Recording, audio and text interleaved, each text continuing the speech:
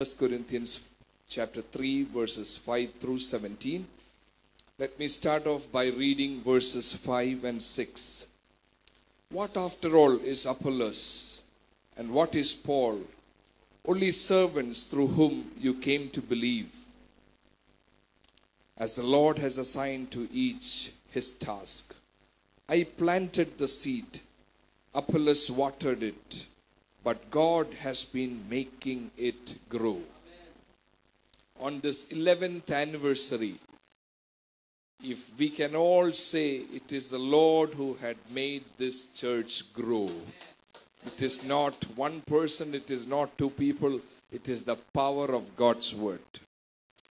It is often said churchless Christianity would lead to Christless eternity.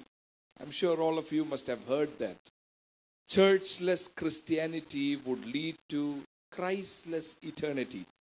There are many people these days who have run away from the church. The concept of church itself is absent. I mean, the concept of coming together like this. There are people who go into YouTube, watch a sermon on Sunday, and make themselves comfortable. Yeah, I am part of this church. I listen to it.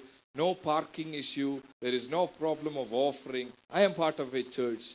But people have said that kind of a tendency without the community would lead to Christless eternity.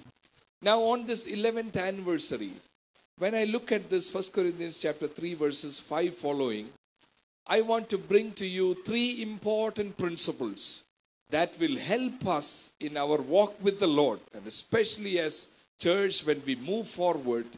You please keep these three things in your mind. First of all, when I look at this chapter 3, verses 5 and 6, here is this agricultural metaphor used by Paul to talk about church. This metaphor is used elsewhere also. In the, Paul's letter to Timothy, also, he uses we are like farmers who are supposed to do hard work. This metaphor is also used in John 15 to talk about wine and branches. We need to stay connected with the wine, which is Jesus Himself. Now, when we look at this verse closely, there is a word which is repeated here. In verse 6, it says, I planted the seed, Apollos watered it, but God has been making it grow. And even in verse 7 also, again, the word who makes things grow. The first thing that I want to bring to your attention is this. What is the mark of a true church from these verses? A true church would be word centered. God's word should be our primary focus. When Paul said, I planted, I planted the seed. How did this planting happen? Planting happened with the word of God. In First Peter we read First Peter 1:23 we are led into a new birth experience not by testimony, not by any song, but by the imperishable seed, which is the Word of God. All of us are here because at one point of our life, the Word of God worked. The seed was sown into our heart, and the seed sprout, and it is bearing fruit today. The, if you take the Word away, then rebirth will not happen. You remember Jesus' conversation with Nicodemus in John 3 unless you're born of water and spirit, you will not enter the kingdom of heaven. To enter the kingdom of heaven or to have the rebirth experience, the water stands for Word of God. Word has to work in our heart with the Spirit of God. When I think of that, I am so thankful to the Lord because Thank you, Lord, for the word that was sown into my heart. And because of that, I am standing before you today. All of us have enough reasons to thank the Lord today because we are brought into Christ Himself because of the Word of God. Paul is the one who planted the seed in the Corinthian city. He was sowing the seed of the gospel by preaching of the gospel. How was his preaching? In Galatians chapter 3, he says, His preaching was as though he was drawing the cross of Christ. That is the picture language used in Galatians 3. I have drawn Christ in front of you. Any preaching that is not centered around the cross, we have to recheck it. When Paul went to Corinth, he was drawing Jesus in front of them. And because of that word of God, the seed fell, and the Corinthian people accepted Jesus because of the word of God. And after Paul left the place, it reads there, Apollos watered it. What do you mean by that? The sowing seed is by the word of God. How do you water the seed? That is also by the word of God. I hope you are with me. If you take the word away, then there is no growth. The seed is sown, that is the word of God. And Apollos comes, he is watering the seed. That watering is also supposed to be the ministry of the word of God. But there is a big danger here. There are many people, many believers who have had that first experience of the new birth. If you look at chapter 3 and verse 2, the problem of the Corinthian believers is very strange. Chapter 3, verse 2. I gave you milk, not solid food, for you were not ready for it. In other words, seed is sown. Seed stands for that milk. It, it is sown. You are drinking milk. But the next level, next level is supposed to be watered and you grow or you have the solid food. What is the solid food? That is also the word of God. Sometimes believers settle for something less. The preeminence of the word of God dies off after a period of time. My dear people of God, on this 11th anniversary, let me ask all of you what is God's word's role in your life? Do you have the habit of meditating God's word on a daily basis? If we are deteriorating into a Sunday service, then we can never grow into the way which God expects from us. When I was meditating upon the Lord yesterday and this morning, this word was coming very powerfully in my heart to tell you Tell these people who are te- celebrating the 11th anniversary, we need more of God's word to grow and become like Christ in the coming years. Don't be satisfied with what you have now. Don't settle for just the seed. Don't settle for just the milk. Today we must ask the Lord, Lord, give me more of solid food. Lord, water me so that I can grow. That should be our prayer today. Water me, O God, with the word of God. Give me more of solid food so that I can grow. The Corinthian believers' error. If you look at chapter 2 and verse 6, look at chapter 2, verse 6. Paul is saying, We do, however, speak a message of wisdom among the among the mature. But do you know this Corinthian people did they achieve that state of maturity? No. When you look at chapter 3 and verse 1, chapter 3, verse 1, brothers and sisters, I could not address you as people who live by the Spirit, but as people who are still worldly. Look at the word mere infants in Christ. They were supposed to be matured. Maturity comes with watering. And that is by the ministry of God's word. When I look at this church and look at the churches around in the city, in one way I am happy because every Sunday you are listening to unadulterated word of God. You are in a right place to grow. But there are chances of you coming and seated, being seated in the church and sleep. Is it possible? Oftentimes I tell people, don't take the pride that you're part of a church that teaches God's word. It is up to individuals.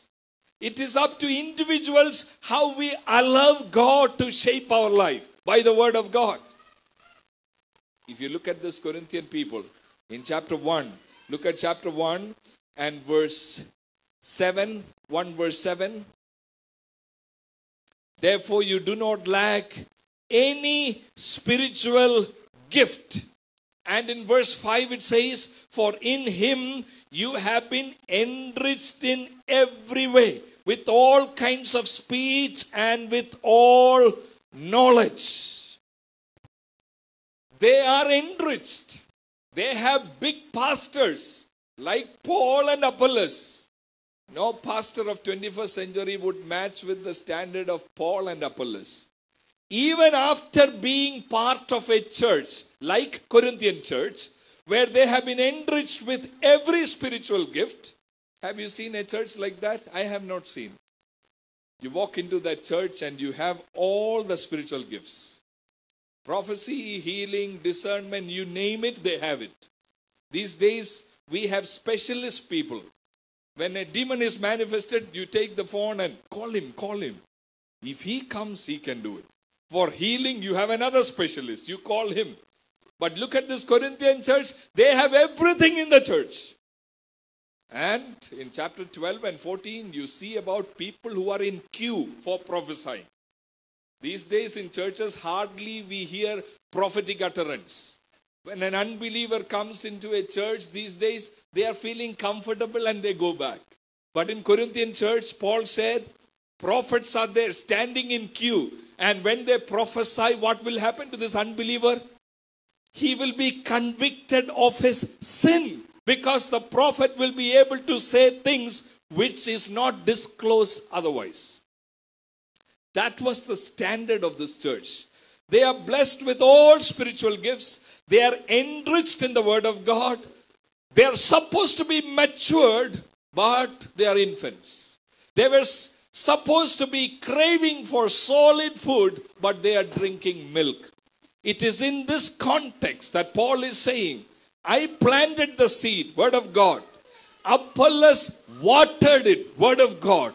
God is the one who will make things grow when we allow ourselves to come under the ministry of God's word. It is my sincere prayer, my dear friends, that when we step over to the next year of this church's life, there will be a renewed interest to study God's word there will be a renewed passion to study God's word. Some of our devotion and meditation life, it should change. From tomorrow onwards, start the day by solid meditation. Take time, separate yourself from the noise of this world to listen to the voice which comes from the God. And ask the Lord, Lord, I want to grow spiritually this year. You know, in Hebrews chapter 4, verse 12, when we look at the importance of the word of God, word is a seed. Word is supposed to be that watering agent that would make things grow. In 4 verse 12 of Hebrews, I like something there which shows us the importance of God's word. Look at 4:12.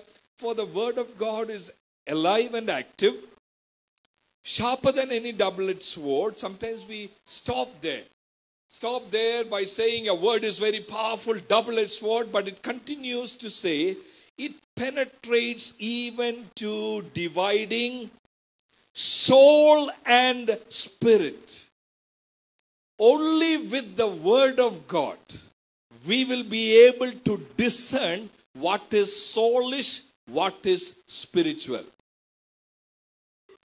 There is soulish worship there is soulish worship.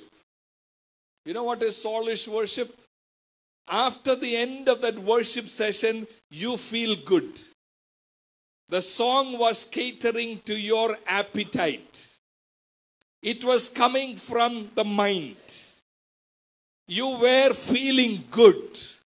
But spiritual worship, you may not feel good. Uh, sometimes you go out of the beat and something happens but your spirit was communicating with the Lord.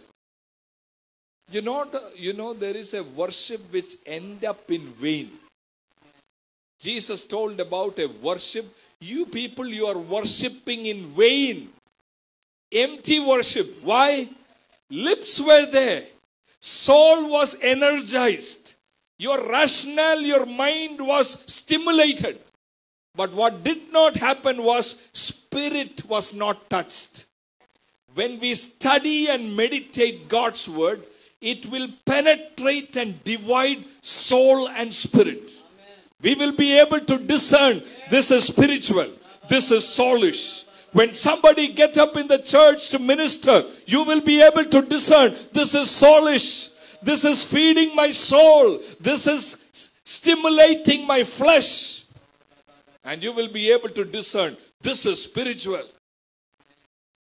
You know, we have come to a time now in 21st century where churches, preachers, you need to discern preachers. You need to discern preachings. When in Acts chapter 17 verse 11 it says, people in Berea, they were of more noble character than of people in Thessalonica. You know why? The Berean people went back and search the scriptures to see to see what? Whether what Paul said was true or not. When we cross over to the next year, this is my humble prayer and desire that all of you will be grown, grown one step ahead in this coming year so that you will be able to discern what is maturity. What is that solid milk, solid food that will enable you to grow and become matured? able to discern soulish and spiritual. The second thing, the second thing that I want to bring to your attention, first thing is about growth. Growth only happens with word centered preaching. May Shelter House be known for word centered preaching that will produce mature believers. May this church be known not just for feeding milk, but for feeding solid food. May this church be known for people who are able to discern soulish and spiritual. That is the need of the 21st century. That is the need of the city.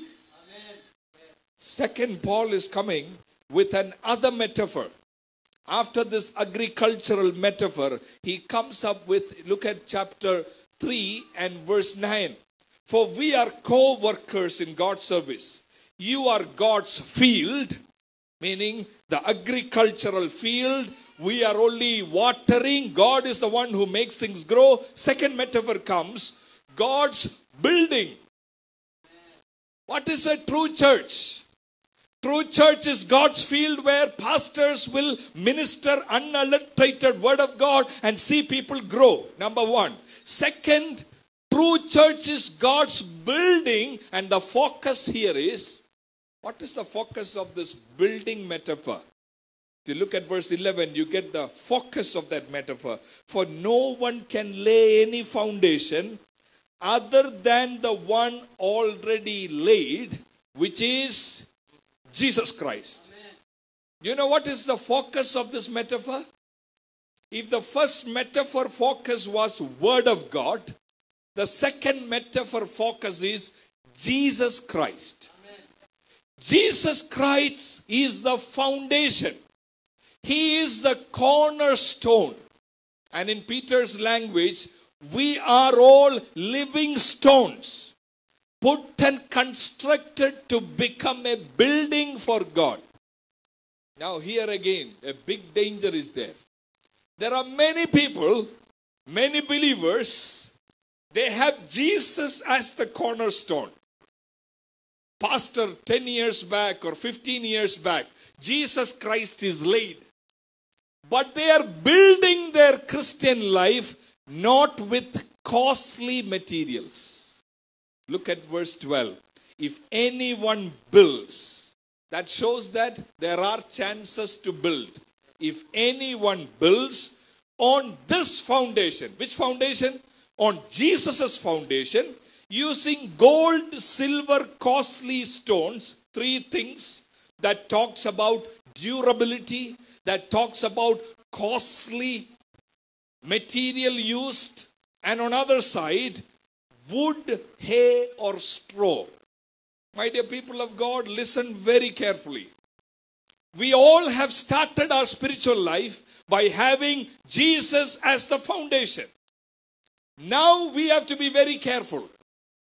At one point, five years back or ten years back, you have said, I have said, from this day onwards, I belong to Jesus. Foundation is laid. Now there is a chance.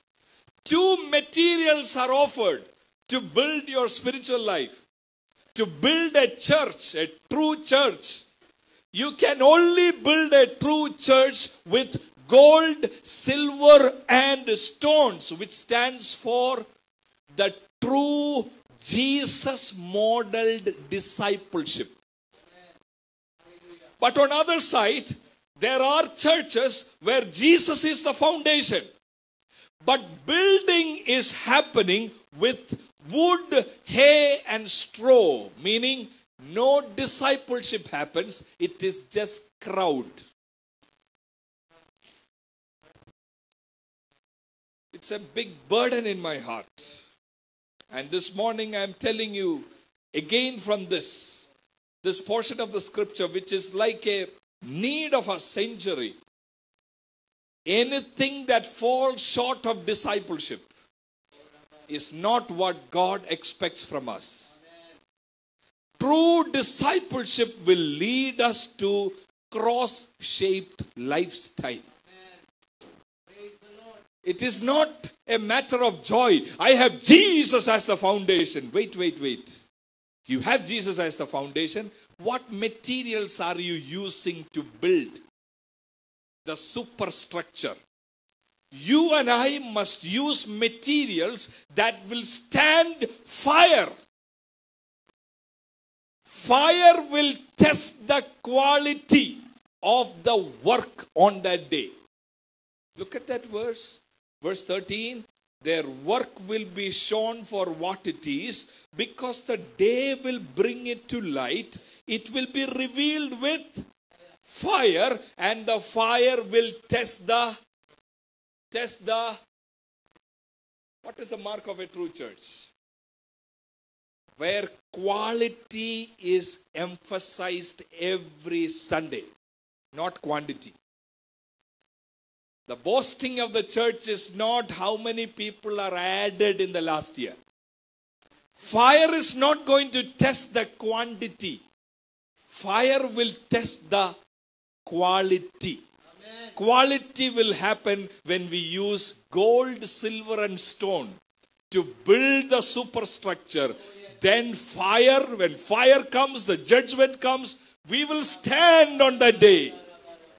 May all the believers here, Shelter House people of God, let me ask you today from the bottom of my heart are you building your life using costly materials? Is discipleship costing you something? The question is not do you have the foundation of Jesus? Foundation of Jesus is there. What is the material used to build up? What happened to this Corinthian believers? Why is Paul saying all this? Paul is saying all this because just like seed was sown, watering happened, but maturity did not happen because believers did not submit themselves to the ministry of God's word. Just like that, in the Corinthian church, Jesus, the foundation was laid. But there were several people who were drawn into carnality. There are a couple of words that I want you to look at. When you open the Bible, look at chapter 2 and verse 14. 2 verse 14. A, the person without the Spirit does not accept the things that come from the Spirit of God, but considers them foolishness. There are many in the church. You ask them, What is your foundation? They will say, Jesus. You ask them, When did you um, have that rebirth experience? They will look at the date and say, On uh, 4th August 2014. Everything is clear. Foundation is clear. The dates are clear. But the problem is, they are not able to discern spiritual things spiritual things when somebody say hey brother you need to pray more you need to use expensive materials to build your Christian life, it sounds foolishness for them.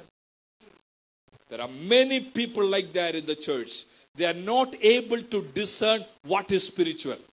The moment you lift spiritual things to them, they will say, This is foolishness. This is foolishness. A person without the spirit, if that is the word used in 214, psychikos, 3 1, it's another word. Brothers and sisters, I could not address you as people who live by the Spirit. 214 is people without the Spirit. 3 1 is people who live by the Spirit, meaning they have some kind of experience of the Spirit. To make it plain and clear, they may speak in other tongues. 3 1 people may speak in other tongues, but they will not be able to control their mother tongue. I hope you're getting it. Church, they come, they're excited. And the spirit filling and they speak in other tongues. But when somebody say, hey brother, your spirituality is not measured by speaking in tongues. The way you talk to your wife, that is the sign of your spirituality. That is foolishness. That is gold, silver. Where spirituality is translated into a house atmosphere, where husband and wife are using costly materials to build up their spiritual life. 11 years, it's a good time to look back, but also it's a good time to look forward. Lord, I want to grow. I want to grow by the ministry of God's word. I want to grow by using expensive materials. When you apply for a job, let's say they're asking for three years experience certificate. And you being a Christian, you being a believer, you being having Jesus as your foundation has only two years of experience certificate. What would we do? The company is asking for three years of experience certificate. We have only two years of experience certificate. Jesus as the foundation. What do we do? When you come out after that interview, whatever, there is a person coming to you, maybe from the church itself. Hey, that is a matter of just 500 rupees. That you can get it. Two years we can easily, yeah, one year break is there, right? We can convert that into three years and that's it. You get the job. And you somehow feel, I think this is Lord's way. I never thought that I will meet this person today. And he almost solved the issue. Most of the believers will go in that direction. Next Sunday, they will come and even share a testimony. My God is a great God. Ah, angel came. God is for me. Who can be against me? All this stuff. And they got the job, let's say, and the first salary, 50% money is brought to the church to give biryani because he want to ease his conscience. I had only two years, but three years certificate I produced. The first salary, half of it is for the church. And after eating biryani, most of us is feeling stomach ache. We don't know what is the root of it. We used very cheap material to build. Jesus is the foundation. If you are a person who want to build on Jesus, use expensive material. That will cost you. After coming out of that company, you should be able to say, This job is not for me. I am clear. I don't need a prophet to tell me, but I am sure this is not my job. When somebody comes, hey, you can easily make this two into as three years. It's not a big deal. Everybody does it. Everybody does it. In your heart, you should be able to say, Demon, get away. Don't look at his face and say, but in your heart, you say, This is devil's trick. I don't want this job. Even if I starve, I will not take this job. You are using gold, silver. Your life will stand on that day. Shelter house people, the church must stand on that day. Jesus is coming back. Let us use costly materials. The mark of a true church one is word centered preaching, second is Jesus model discipleship, which will lead us to cross shaped living. Corinthian people were at the error. Corinthian people were in huge error. They had Jesus as the foundation.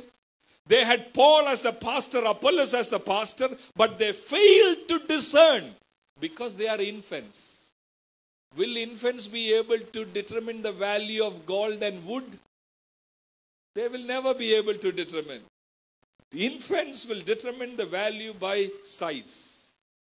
Spirit filled people, matured people will not determine the value by size, they will determine the value by quality. Quality. The main error which is happening with the Corinthian people is I want you to listen very carefully. In 1 Corinthians 4 8, you see something is showing up here of their spiritual life. They have Jesus as a foundation. When they build the superstructure, this is what is coming. 4 8. Can anybody read, please? 4 8. Ah. Already you have all you want, meaning all your prayer requests are answered. Then you have become rich. You have begun to reign, meaning you are now people of influence. Your superstructure is showing, wow, grand. Worldly people are looking at your life and saying, great. After you start going to this church, everything is going well with you, man. All the closed doors are opened and you have become very influential. Earlier you had a second hand car and now you don't know which car to take because you have two, three cars. Things are going your way. You know what Paul said in verse 10, 410, 410? We are fools because we are building with what? Gold, silver, and costly stones. We are fools. When we start building our Christian life with costly materials, world will look at us and say, you are a fool. Let me ask you, have anybody looked at your life and said you are a fool? By God's grace, no, Pastor. That is a mark whether you are on track or not. If last week or if last year, if your colleague who is sitting with you working in the workplace, if they looked at you and said, You are a fool, you should take this up. It's coming to you. You just need to play this game. You are getting it. And you are saying, No, I'm content with this. You want to build the superstructure with costly materials. The person who is seated next to you is looking, fool. Paul is saying, We are fools. You are wise. Look at the irony. Pastor is fool. Believer is wise. Pastor is building with expensive materials. Believer is building with cheaper material. Both are claiming we have Jesus as the foundation. That is the sad state of Christianity today. Not over. List is not over. Then we are weak. Who? The pastor. Paul, who sowed the seed, he is weak. But what happened to believers? You are strong because somewhere you have compromised. You are using cheap materials to build. You have become strong. According to worldly point of view, you have become strong. Third, you are honored. You are honored. And Paul is saying, we are dishonored. You know how we should um, uh, interpret this verse 410? Where is the connection of this? Three things are said here. You are wise, you are rich, you are honored. How we should interpret this verse? We should interpret this verse in the light of chapter 1, verse 26. When God called them, who were they? When God called the Corinthian people, who were they? Not many of you were wise, but now they have become wise. Not many of you were influential, but now they are influential. Not many of you were of noble birth, now they are honored. The three things they were not when God called them, they have become when they came to Jesus. And these three things Paul is saying, these are cheap materials you are using. Matured believers will understand this today. Gospel is not about change of social status. Gospel is not about a shift in economic status. Gospel is about dead people spiritually being alive. That is another gospel. You come to Jesus as weak, he will make you strong. Yes, he will make you strong, but the world will still look at you and say you are weak. In the sight of the world, people who use costly materials will, will be perceived as fools. That are the marks, the three marks. Are you remaining as a fool in the sight of the world? Are you remaining as weak? Are you remaining as dishonored man? Let me explain in one word. Otherwise, you will be confused. Pastor, what do you mean by being weak in the sight of the world? You know what is the point of being weak in the sight of the world? There is an illustration here in chapter 6. A believer is having problem with another believer. Let's say something about finance thing. He is owing him some money, some confusion is there. What is our immediate thought? You have foundation. Jesus has the foundation. You have asked the money back a couple of times. The next thing is, brother, if you are not settling this now, let's meet in the court. Let's meet in the court. This will be my advocate. Do you want to take this on? I have no problem. I am going ahead with the case. You are showing your power. You know what is Paul saying? Use costly materials. When somebody is cheating you, don't take revenge. Look at chapter 6, verse 7. Very difficult. 6, 7. The very fact that you have lawsuits among you means you have been completely defeated. Even after having Jesus as the foundation, when you have lawsuits among you, you are defeated. Why not rather be? Why not rather be wronged? Why not rather be cheated? You suffer it. If there is anybody here who is contemplating on how to progress with a case or how to file a case, let me ask you today refrain from it. Refrain. Take a step backwards. I'm sure there are people like that who is struggling with how to go about. I want to teach him a lesson. And you may think God is on my side to prove myself to him. That is not how God will show his power through us. God judged the worldly power. God judged. How? On the cross. World thought the power is when he is crucified, he should come out of the cross. God judged that power. He said, No, that is not how you measure power. When you endure suffering, you are powerful. When nails go through your hands, when people cheat you, when people betray you, when people backbite you, if you have Jesus as the foundation, let the nail pierce your hands, remain there, you are powerful.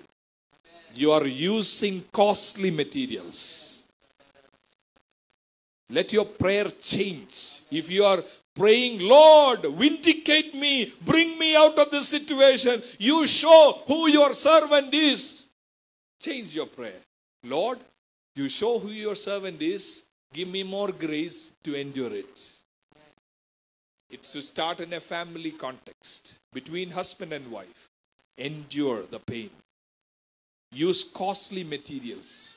Don't go ahead with the think thinking of I want to divorce. No. Use costly material. You realize the fact God is using this other person to make me more like Jesus. That is why He has brought this person in my life. I am not going to file case against him. I am going to endure the pain. I am going to carry the cross. Corinthian people were weak when God called them. Corinthian people were poor when God called them. Corinthian people were not of noble birth when God called them. But they have become wise, they have become strong, they have become honored. Now, the one who is writing this, when God called him, who was he? He was wise, he was strong, he was influential. But for the sake of this foundation, Jesus, for the sake of that foundation, Jesus, the wise man became fool, the strong man became weak, the honored man became dishonored. This is true Christianity. God is calling Shelter House Church today. Remain as weak people in the sight of the world. Remain as poor people in the sight of the world. Pastor, what do you mean by poor people in the sight of the world? Let me tell you. I'm not saying you will not earn more than a lakh or anything like that. No. You may earn maybe two lakhs in a month. But when you have Jesus as the foundation, you should have the wisdom how to use that money to construct the superstructure. Don't keep majority of that income to yourself. Use costly material. Maybe take a decision 50% of my income will go to God's work. What would the world look at you and say? Fool, number one fool. The preacher will go, church will go, only you will be there. If you have money for yourself, it will be good for your children. That thought comes. But on the other side, God is telling you today, remain as a fool. Use costly materials to build. Use costly materials to build. This is true revival, my friends. My dear people of God, God is calling us today for a deep work. Not just peripheral things, deep work where our life will be challenged and transformed. We will become more word centered. We will become more Jesus focused. Jesus model discipleship will lead to cross shaped life. Thirdly, lastly, what is the mark of a true church? Word centered preaching will be there. Jesus model discipleship will be there. The church will not be becoming powerful in the sight of the world. They will remain as fools. Thirdly, lastly, if you look at chapter 3, verse 16 and 17, Paul is saying, Don't you know that? No, that is a phrase that Paul uses quite often in this letter. Why is Paul using, Don't you know that? Don't you know that? Because these people have an understanding, they know certain things. In chapter 8, verse 1, look at chapter 8, verse 1. Now, about food sacrificed to idols, we know that we all possess knowledge. Look at chapter 8, verse 1. Corinthian people's error comes from this thing. They know many things. They've studied God's word and they have Paul and Apollos as ministers. They know. Knowledge puffs up. That is why Paul is saying, Don't you know? You are supposed to know this.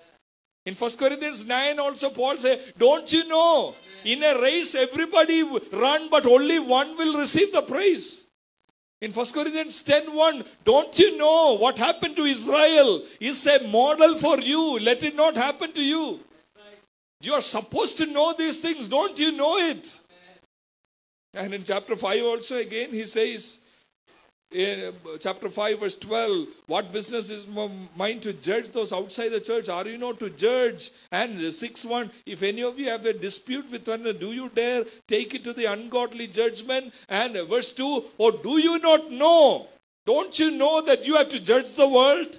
Verse 3 don't you know that we will judge angels? There are many things they know.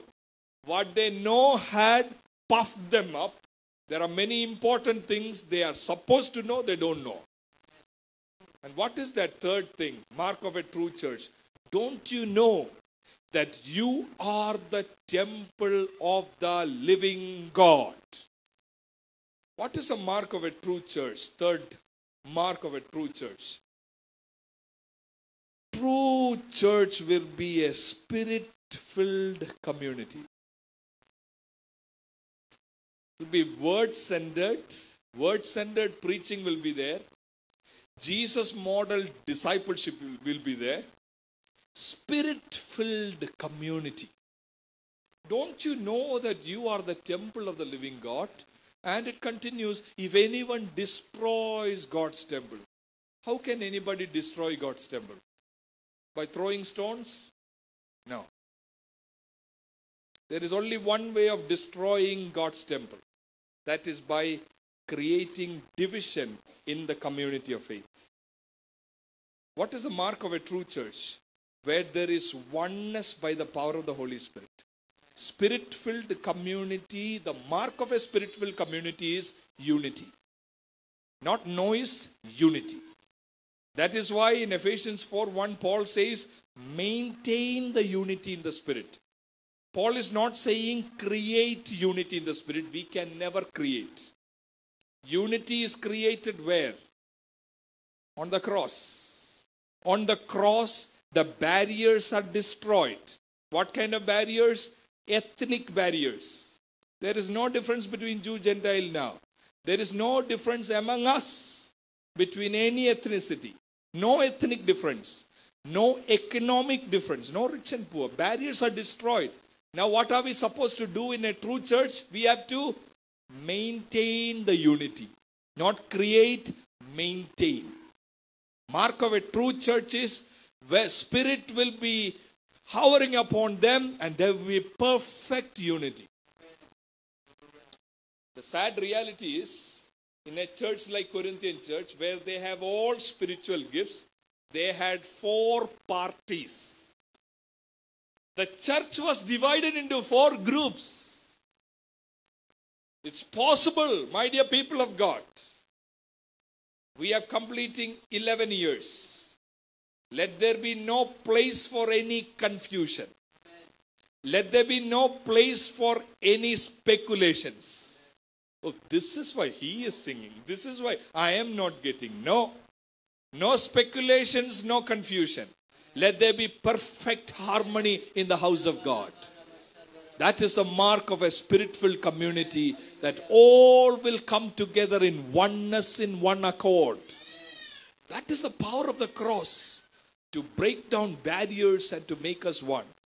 And when the when the spirit community in chapter 2, verse 9, chapter 2, verse 9, it talks about something very important for us to have this unity. Chapter 2, verse 9, it says, However, it's written, No eye, what what no eye has seen, no ear has heard, what no human mind has conceived, the things that God has prepared for those who love Him, these are the things God has revealed to us by His Spirit. You know what is that meaning of no eye have seen, no ears have heard? Usually we use this we use, use this word usually to say when a marriage proposal come, let's say a marriage proposal has come and this guy, the first marriage proposal guy was earning only 20,000 rupees. He was in a rented house. But that did not work out for some reason and you were very gloomy, sad. After three months, here is another proposal. He has his own house. He has his own business. He has more than a lakh income. This is a word. But no eye have seen. No, what no ear have heard. God has done it. What a misinterpretation of scripture. John, Lewis also. it's very much there. Those are the promised things these days. In Malayalam, they say, Manju Peyinna Rajya. Snow, snow falling place. Prophets would say things like that. You know what the Spirit would reveal to us when we become a true church? What no eye can see, what no ear can understand. They cannot understand this mystery. The mystery of unity, they cannot see. It is not no eye has seen in the sense something was there, no eye has seen, I have seen. No. They cannot see with their human eyes. Spirit has revealed for us to see the one who was crucified on the cross. He is my Savior. Other eyes cannot see it. Physical eyes would look at cross and say, He is cursed.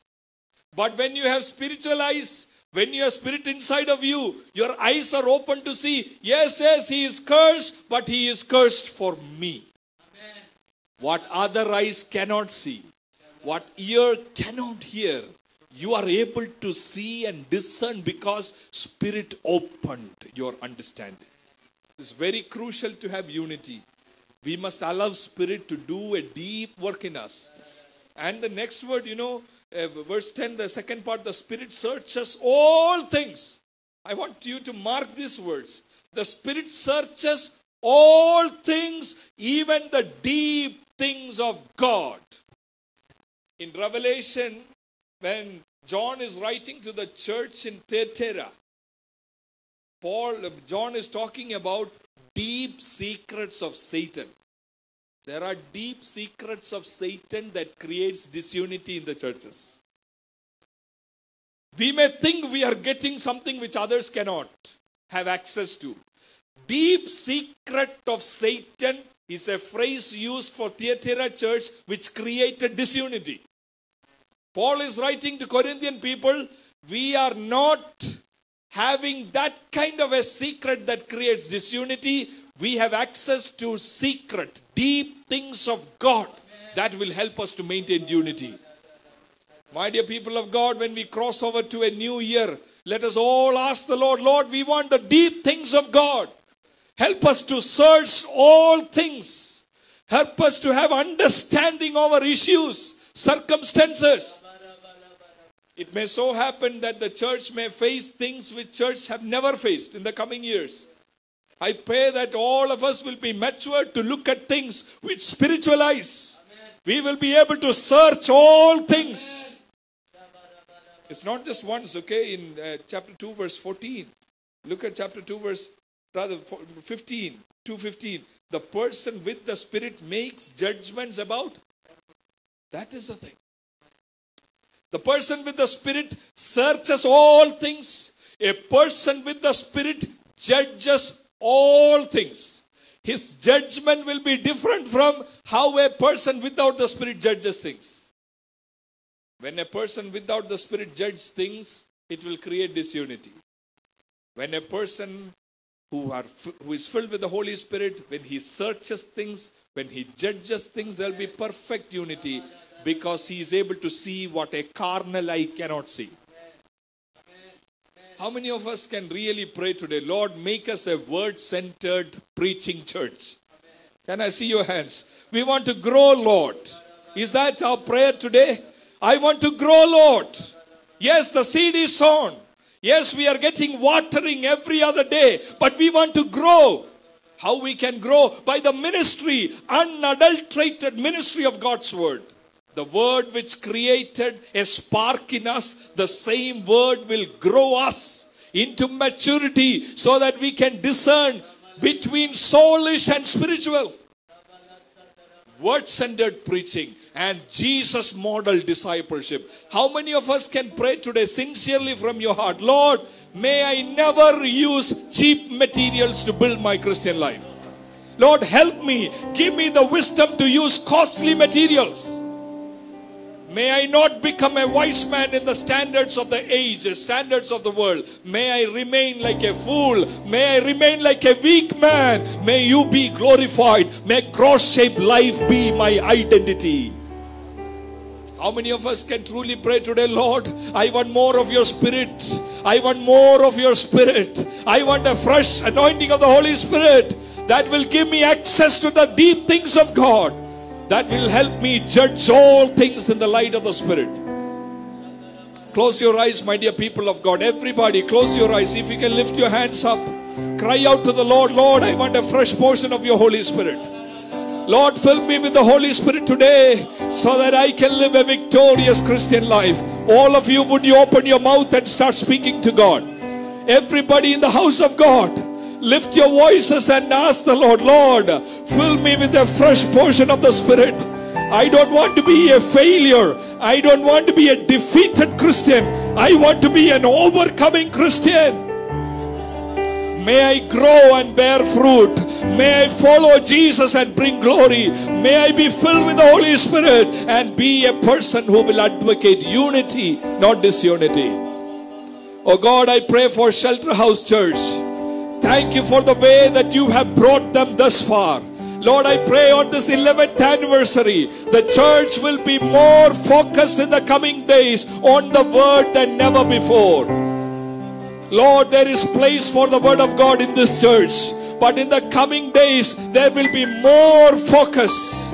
All the believers will be grown, oh God, to a next level. We don't want any of the believers, oh God, to be in the state of infancy. We want all the believers to grow in the state of maturity. Lord, also we pray that none of us will be deceiving ourselves to think that we have Jesus as the foundation. Lord, after having Jesus as the foundation, all of us let us build our Christian life with costly things, oh God. Draw us, O God, near to you. As Paul said, imitate me as I imitate Christ. Let all the members of the Shelter House Church say, imitate us as we imitate Jesus Christ. I pray, O God, that you will fill us with a fresh portion of the Spirit, that we can have access to the deep things of God, that we will be able to judge all things in the light of the Spirit. Let your name be glorified, O God, through the church, through all the ministries of the church, through the ministry of the Word of God, through the ministry of discipleship, through the ministry of reaching out to people outside. Let your name be glorified, O God. Let none of us here bring dishonor to thy name. Let all of us stand for you in this generation as faithful people, as servants of God. To that end, we commit all of us into thy hands. In Jesus' name, I ask this prayer. Amen.